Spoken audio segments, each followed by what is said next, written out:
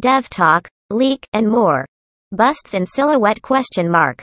I promoted my SR Bumblebee SSR, but the shard I got from the event is still the SR shard. What am I supposed to do with those shards? For the excessive shards this time. There will be an item redemption event where you can use those extra shards to exchange for items. More events will be released for collaboration related contents in the future. Question mark.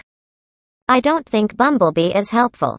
Bumblebee is designed to be an SR that can be promoted to SSR. We've been thinking and testing his ranking and skills. Should we put him as an S rank, hero, etc.? So as you can see Bumblebee is considered to be a beginner-friendly hero. For the collaboration heroes in the future we would give them more abilities for more use cases. Question mark. More Transformers themed UI change would be awesome. Thanks for the suggestion. Stay tuned for the next collaboration event Winking Face. Question mark. And more collaboration events maybe? We are very delighted for having the opportunity to work with Hasbro and yes the business development department is also developing collaboration plans and business relations. Question mark. I wish you guys can optimize the repair system.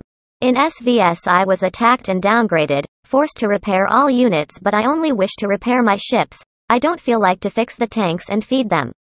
Such optimization is under development right now and it will be released in two months. Question mark. Again, any news about the class change, GM, TM, LC, GS? The class change is under test at the moment.